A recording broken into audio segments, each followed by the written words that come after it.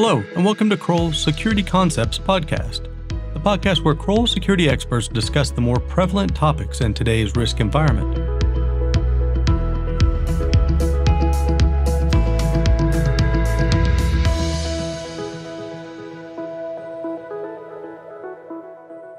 On today's episode, I'm bringing in colleagues from two of Kroll's EMEA offices to discuss the great successes they've seen in deploying a multifaceted investigation methodology in which they bring entities across Kroll's practice areas to bear in their large scale investigations of an incident. Our guests today are Marco de Bernardin, Francesca Castelli, and Nick Doyle. Marco and Francesca are both from our Milan, Italy office and are integral team members in the investigation practice for that region. Marco is Kroll's Italy country manager and has a focus on Italy, Malta, Austria, Greece, and the wider Mediterranean area. Over the years, Marco has led multiple investigations into leaks of information relating to intellectual property, working with clients and their legal advisors on civil litigation cases, requiring a combination of computer forensics, interviews, analysis of public domain materials, and intelligence gathering. Francesca is a senior manager in Kroll's business intelligence and investigations practice and is a certified fraud investigator. Francesca has led investigations for clients into allegation of fraud, corruption, conflict of interest, and leaks of information by combining different and complementary investigative techniques like those that we will be discussing today. Nick leads our security risk management practice in EMEA and works collaboratively with our investigation teams across the region to include deploying resources to the Milan office to assist in some high profile investigations in that market with great success. Welcome to the podcast. Hi, thanks, uh, Jeff. And it's great to be on this podcast with my colleagues from the Milan office, Francesca and Marco. Uh, we've worked very much collaboratively with them in the past year and actually for longer than that. And it's great to have them on this podcast to, to talk about investigations and security. Thanks, Nick. Yeah, indeed, it is a pleasure, and indeed, I think we uh, we work very well together so far. I think it's very useful to have also this kind of conversation today uh, to share our thoughts and to try to start really uh, interesting things again together. Uh, hey Jeff, hi Nick. Many thanks for having us on on on this initiative. And um, as my colleague said before me, very happy to be here and uh, looking forward to an interesting conversation. Excellent.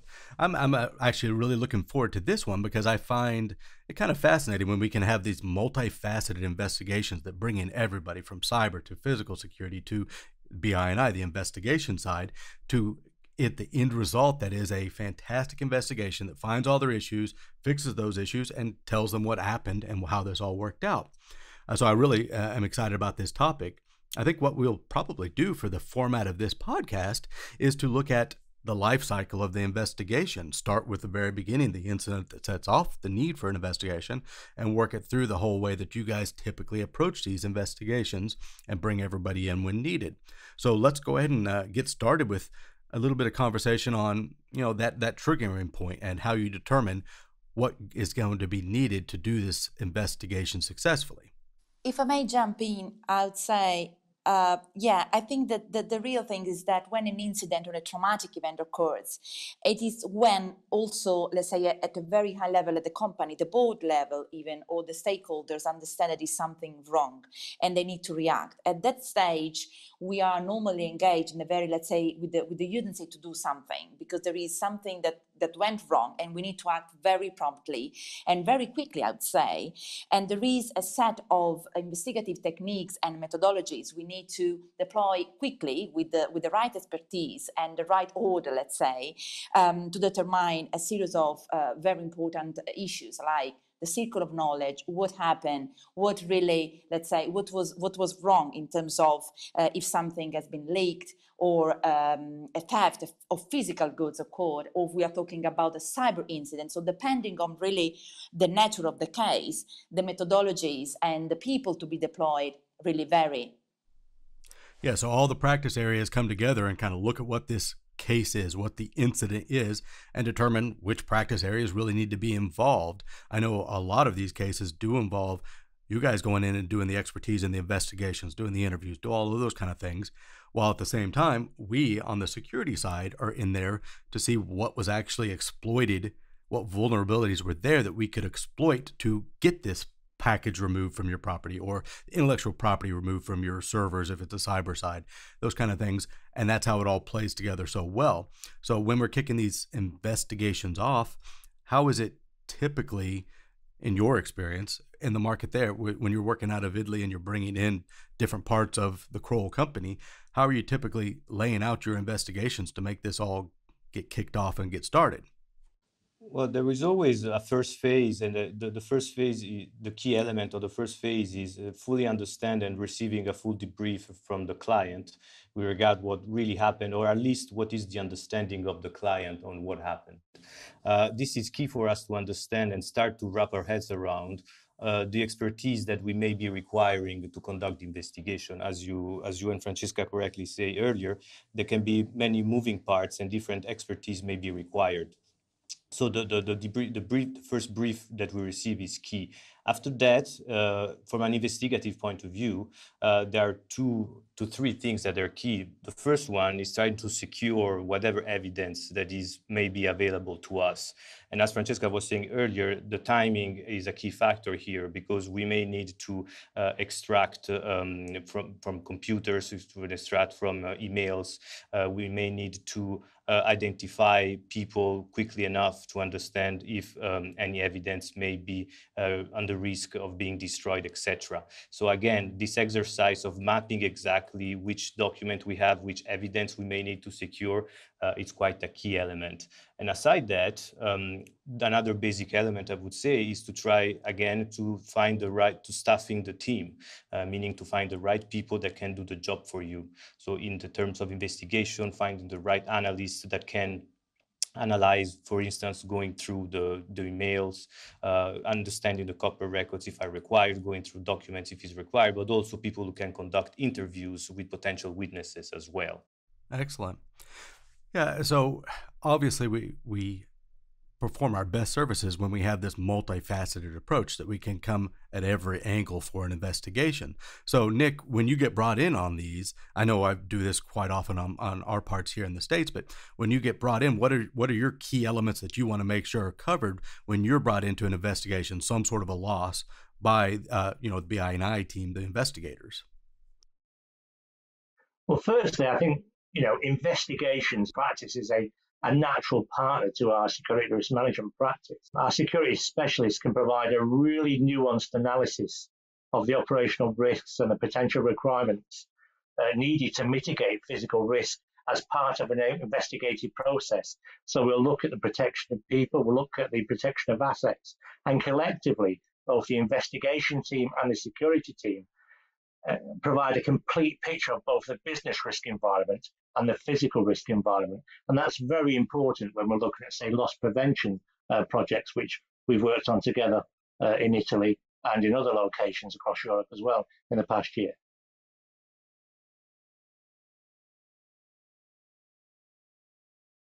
Uh, when discussing this uh, this podcast with Francesca, uh, we, we, thought about that that there is uh, a sort a sort of circle that um, of interaction between the investigation, the investigative angle, and the security angle, whereas the investigation serves as a roadmap of understanding the organization, try to understand what went wrong, and then the security uh, practice with this roadmap is in the position where they can actually read the organization and then try to identify the gaps. Don't know, Francesca, you were discussing about that.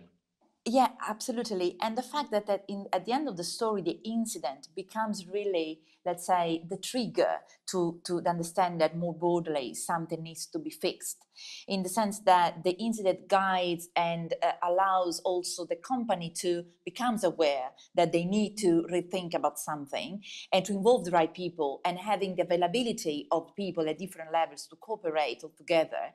And so during the investigation, we bring together our colleagues from different divisions, in particular Nick and his team, to, to try to, uh, to, to understand really if something went wrong and the incident occurred, where the vulnerabilities were that were exploited in terms of let's say physical vulnerabilities, but also in terms of policies, in terms of procedures, in terms of the overall assessment. And it is something that um, it's really, in a way, as I said, incident can just be uh, as a sort of first step of um, rethinking about the organization.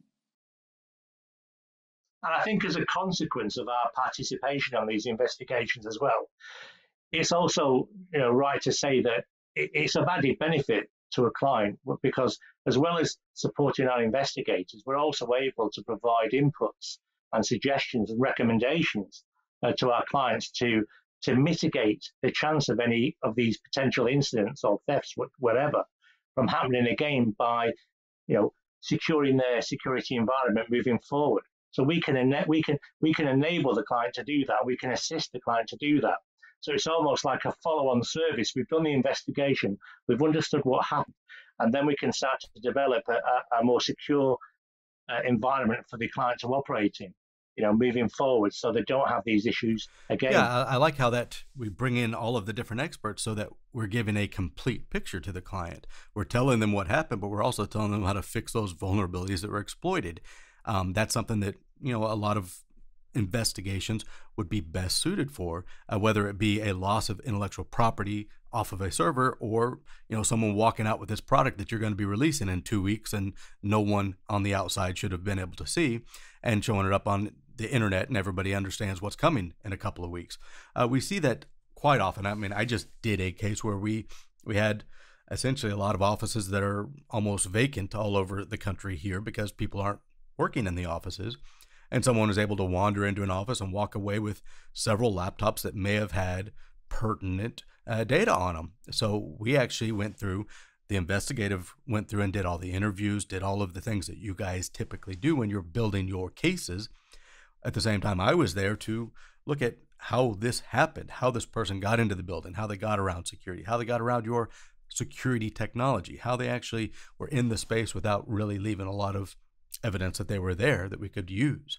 Uh, so I, I, find all of this work kind of fascinating because it you kind of do that that sleuthing and uh, work together with the team and put together a complete package that proves to be very beneficial to the client. Uh, when we're talking about the the methodology of how you typically would do your investigation and how it all fits in you know what are the what are the key elements of your investigation and how security may play a part or how cybersecurity may play a part you know when you're doing these investigations historically where do we really see the breakout of of the types of work that are happening? Well i, I will give it a first stab.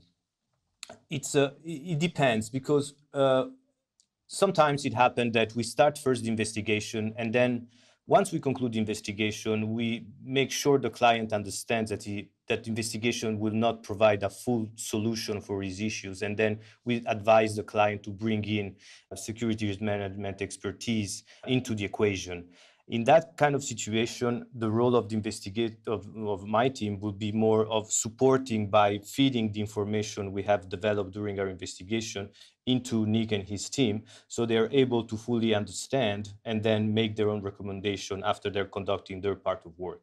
Other cases, uh, they see a combined and a joint effort, uh, effort of the investigation that takes place at the same time of the of the assessment.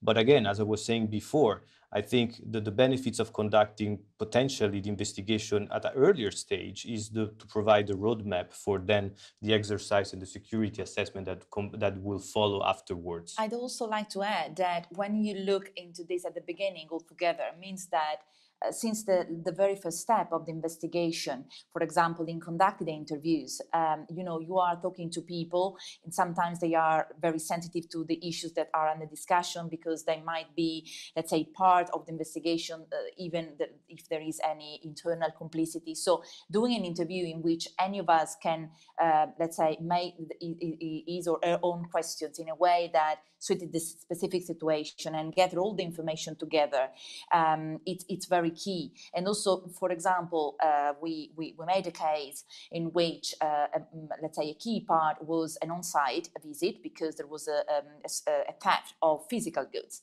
And so being together there um, meant that each of us uh, was looking at different things uh, because each of us has his own, let's say, background and also aim and purpose for the client. But when we then uh, came back all together, bringing what we have learned about this on-site visit, we realized that, let's say, the picture that came out from our joint efforts was really much better than uh, if we were there one, let's say, uh, alone.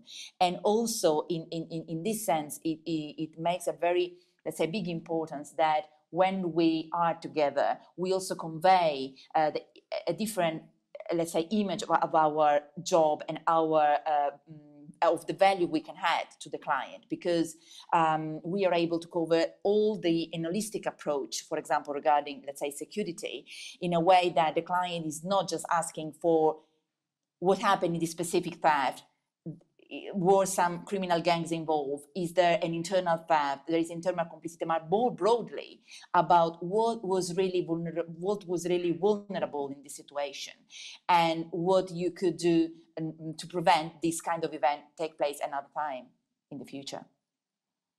I, I think that's very relevant as well. Um, you know, security risk management has a, a depth of experience in, in in operating security controls and uh, you know, especially in real life or real world situations. And I think our knowledge of security systems uh, can influence the finding of an investigation. So, you know, because because of our uh, because of this knowledge, we, we can look at the, the methodology of say how a theft occurred, and we, we can look at how that theft was captured or wasn't captured and um, you know that that can influence uh, the findings of the investigation. It can also eliminate potentially insider threats because of that input as well. So it can bear a real real quality qualitative influence on an investigation. It makes sense. Uh, when you guys are doing these investigations, who are you typically working with? Are you working directly with the board of the company? Or are you working with local personnel? How does that usually play out when we come in? I know on our physical security side, we're working with local people, looking at doors and cameras and things along those lines, operational procedures. How is it really working on the investigative side? Who do you talk to? Who are you working with?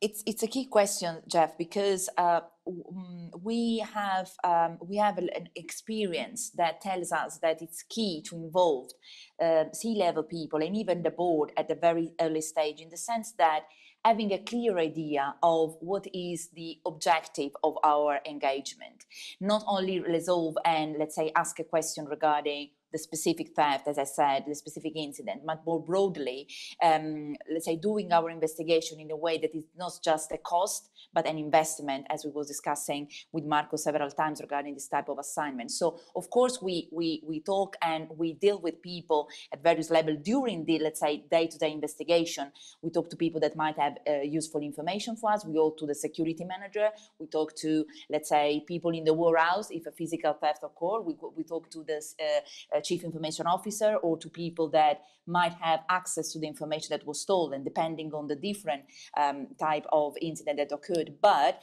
uh, at the end of the story, let's say the say uh, the, the people to whom we are talking at the end of our investigation, when we have to provide our results and provide our recommendation, are really, I would say, people that are the ones who need to decide the risk that the organization wants to take and the risk appetite because it's impossible to protect everything uh, 100%. So we need to decide where the risk is acceptable and if it is not, how much you want really to invest in order to secure the organization. And it is a typically decision that must uh, be taken at a very high level of the organization.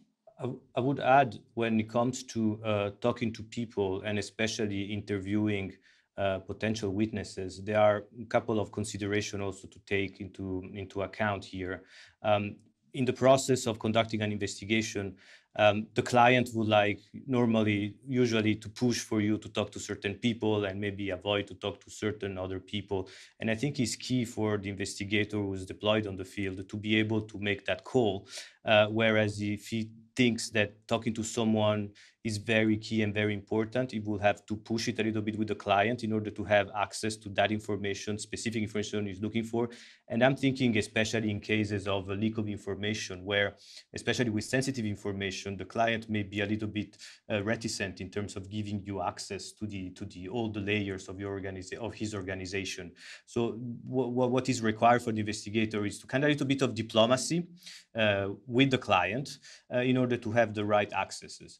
And, and that's also uh, key because you need to develop that kind of diplomacy for, for, for the reason that Francesca was also explaining. When you have to deliver your message to the board, which is the board that has to receive the message because he can take the decision, but also you have to be able to, to rely your findings to the board and then sometimes you have to deliver bad news. Um, and so working out that diplomatic approach is the one that allows you to have that credibility to also to be able to deliver that kind of news to the client, but also to make the client willing to listen to your advice when it comes to remediation and mitigation. Yeah, I can certainly see that, you know, your end result, if you have enough information and it's coming from several different entities about how this is actually going to work, how you're going to deploy your protective countermeasures or whatever it may be to respond to this last incident, I could see where the board would want to see that in a complete package so that they understand that they are not just getting, you know, the information about what happened on this event. They are getting something that's going to prepare them for events two, three, and four down the road so that they're actually able to have a feasible plan that they can deploy based on their risk appetite to protect themselves against any future incursions. Uh, when it comes to the actual investigations that you guys are doing. I know we have to be very uh, generic because uh, we have a lot of confidentiality involved, but is there any trends that you're seeing? Is it loss of IP? Is it loss of product? I mean, are you guys seeing any trends today of what your investigations look like? The, the way the Italian market is, is structured uh, is composed by few large companies, a large corporation, but there is a plethora of smaller uh, companies, uh, all of them, they small, medium-sized companies, all of them, they have something very specific and valuable, which is intellectual property, which is like trade secrets, etc. So the trend is try to help those companies to put to secure their intellectual property, making sure that they can retain the edge if they want to, to, to, to keep on being competitive on the international markets. I see that there is not enough interest in the Italian companies because they tend to see security as a cost and not as an investment. There is there's not enough interest in, in that in that area of expertise, and this is why I think the message is yes, we can conduct investigation and can and help a company to to understand the narrative and the responsibilities. But yes, Italian companies definitely needs the security risk management approach that will help them to secure their companies and potentially avoid that traumatic event, avoid that trigger event, uh, in order that to to to to, create a, a secure a security uh, around the company and what is important for you to protect. Makes sense. Okay, so I guess we're to the point now where we try to give our listeners a bit of advice. Uh, what what are those key items, those food for thought pieces that you really want to make sure we express here that your clients and everybody out there really needs to be aware of when they have an incident and they need to start an investigation? I think if we're talking around um, insider threats and where there's a collaborative approach from the investigations team and the security risk management team uh, about uh, providing solutions to clients with, with insider threats. It's important to, to, mention that many, many clients actually, uh, you know, have perimeters of security because they're protecting themselves against external threats. And where we can advise clients around internal threats is looking at the process because these people are already inside the perimeter where a lot of the security environment isn't as rigid as it would be around the perimeter of a site. So therefore, we can work with our investigators along the process and controls of you know that carry on within an you know internally within an organization to identify those vulnerabilities to identify those gaps for the investigators to look at as potential avenues of where the internal threats or the theft of IP have, have occurred yeah, and if I can jump on this uh, on this last point that Nick just made is the in, in conducting, especially for the insider threat investigation, you do realize that the, the human element is key uh, because, of course, uh, either willingly, willingly or unwillingly, uh, a subject was responsible for you know, data leak or information loss or IP theft.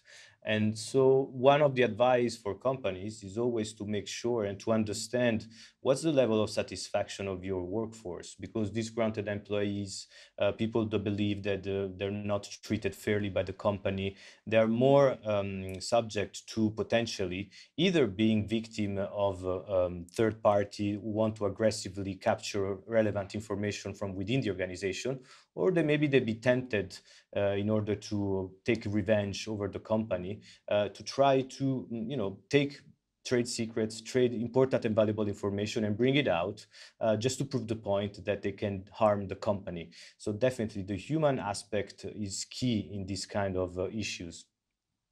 Excellent.